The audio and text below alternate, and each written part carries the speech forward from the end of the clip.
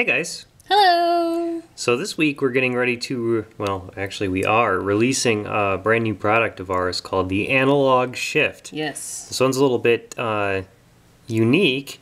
It's a PIC. Super cool. It's a PIC board that pretends to be a shift register, like a 595 serial to parallel shift register. Um, but instead of having eight outputs, it only has one, and that output is analog. So you shift your eight bits of data in to the port in here using power, ground, clock, latch, and data. And uh, when you latch it, the analog output of the chip there is set to a uh, 7-bit value. No, no, incorrect. It's set to a voltage between 0 and 3.3 volts. with 7 bits of resolution. Right. Correct. So it's not really a 7-bit value. And just like a shift register, these will daisy chain. So you can go from one of these boards to another, to another, to another, to another with the port out. And then you get your little analog output right here. Uh, you've got your reference ground output right there. And uh, you've got an extra plus and minus there in case you needed to add some uh, stranger power needs. Uh, sometimes with these you do. Wait, remind me again what these five pins are The down port here? out So that just pretty much chains what you put into here? Kinda. Um, so you've got power, ground, clock, and latch. Those all just pass straight through. But this is the data out of this chip.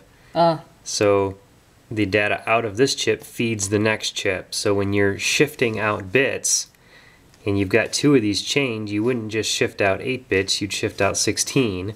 The first 8 that you shifted out would land on the second chip, and the last 8 would end up on the first because it's a register. You're just pushing things down through the register. I see. So it's not the analog output No. of the chip. So where does the analog AO. output come? Uh ha ha. Okay. So for to make it simpler for those who aren't comfortable with shift registers, essentially you put in any 7-bit number from from 0 to 127 in to this magic chip and out you'll get an analog voltage between 0 and 3.3 volts. Yes.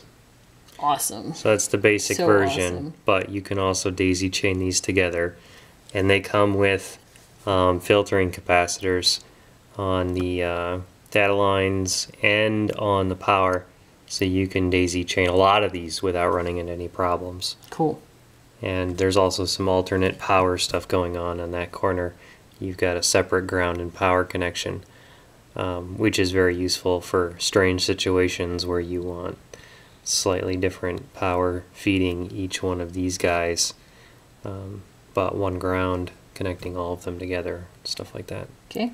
All right, so we've got that red wire coming out. Yeah, that's the analog output, and I just stuck a 1K resistor in there just to tie it down to ground so it's not floating around.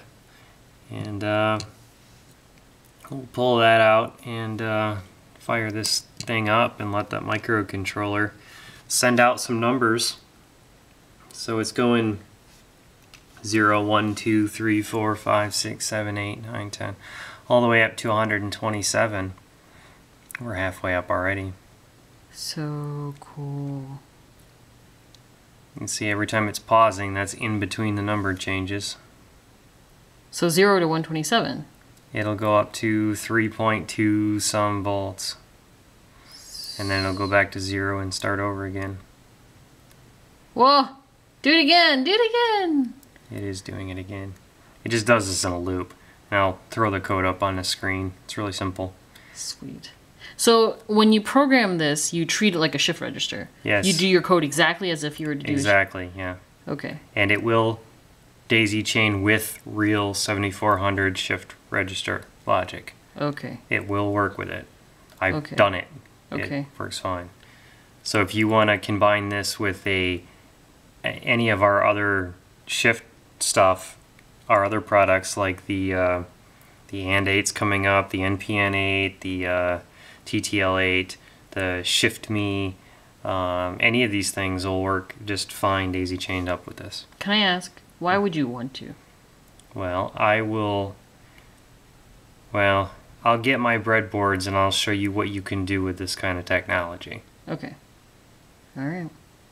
Go analog shift. So that's a lot of wires. What's that all about? Yeah, it's not as complicated as it looks. Basically, we've got the microcontroller here. Mm-hmm. What kind isn't at all important for this application because this is such um, straightforward stuff. We've got three I/O pins off of the microcontroller here, Okay. and those are controlling the uh, clock, latch, and data lines for our daisy chain of analog shifts. And you can daisy chain the analog shifts with any other shift register stuff, be it our stuff or anything 55, uh, 595 based. It works fine and you can daisy chain them. So those three lines come into the first analog shift here Okay. and um, out of that analog shift to the next one. So they just, you know, so chain. it's clock, signal, and latch. So clock, latch, and data. Okay. And what data are you sending? Ones and zeros. Okay. So, but to these specifically, it's a seven-bit number. Well, Right. just like a normal shift register, these take 8 bits. But it's only using 7 of those bits to actually calculate the analog output. Okay. So, because the, the PIC that's on here has a 7 bit DAC. And MIDI uses 7 bit. Okay. So, you know, I need 7 bits of resolution, so these are 7 bits. Okay. Okay, so the microcontroller is feeding um, 16 bits out. The first eight go to this, the second eight go to this. Okay, this one, the analog output is going into the input of this little pile here, and that is from, well, kinda, sorta, um, from Mims' notebook on 555 timers Okay. and it's uh, stable. So Alright, So what's it doing? it's oscillating. This capacitor charges up, falls, charges up, falls, charges up, falls, and as it comes up and down, the output pin is going low and high. And uh, I've modified it a little bit to be uh, voltage controlled. So you can actually apply a voltage to it to speed this up. So this 555 right here has a normal base operating frequency that it's oscillating at, which can be modified by the analog output of the first analog shift. So I can bring the frequency of this up if I want to in a controlled fashion. Um, I'm so confused. Try again. so the the propellers or your microcontroller whatever sends out a signal, a voltage. No, not a voltage. 8 bits. Eight bits, right? Eight bits to the analog shift. Yes. The analog shift takes those takes seven bits of the eight and turns it into an analog voltage. Yes. The analog voltage goes to the 555, Yes. which makes that analog voltage become a sawtooth. Well, it's not making it become anything. That voltage is determining, well, helping to determine at which frequency the 555 astable circuit oscillates. Okay, so whatever. So the 555 is creating a sawtooth, right? Yes, From that analog voltage. you could think of it as a sawtooth. It's just a bunch of really short pulses at a controllable frequency. Okay, so what happens to that? Okay, so the output of that 555 hops over this line into the input of that 555. And that one's based around the basic monostable circuit. Uh, and this is our input from our first 555 is the trigger pulse in. Okay, And the setup of this 555 determines how long it's going to lengthen the output pulse. So it turns it from a very short pulse into a pulse of a determinate length. And I've also modified this circuit to be voltage controlled as well. So the second analog shifts output hops on this rail, comes through a little resistor here, and is working with that 555 to uh, lengthen the pulse coming out of the first one. So the higher the voltage, the oh geez, okay.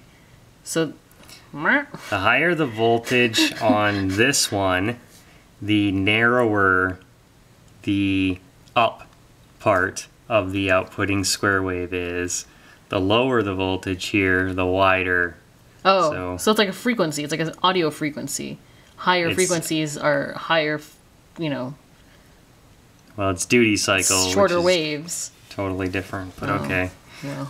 We can show you visually what it looks like here in a minute. Okay, and then the output of this is just the audio out. So it's going into a JACME and uh, up to Addie's little uh, demo speaker thing that she built so we can hear it. Okay. All right. Um, we're going to monitor some of the stuff on the scope.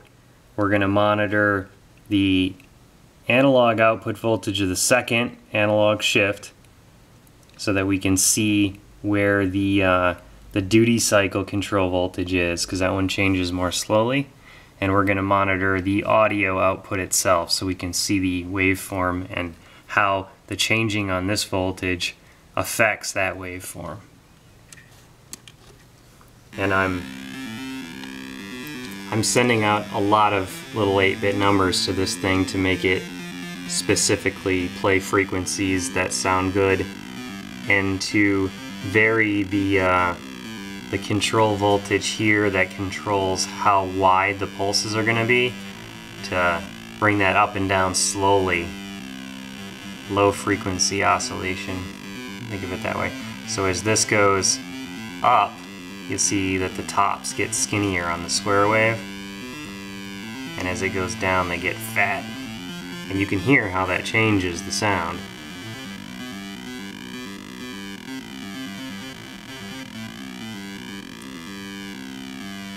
So there's two 555s controlled by two analog shifts and you could sequence the two 8-bit numbers out to these with any micro. You could do it with switches, you know, toggle switches if you felt like it, because this is these things emulate old 7400 logic, so it's you can interface it with literally anything. Cool. All right, so there's my little demo project for what you can do with the analog shift. And uh, yeah. Chippy. Well, it's square wave, so. I can't say squarey. That doesn't make sense. It's very chippy. There you go. Chippy. Okay.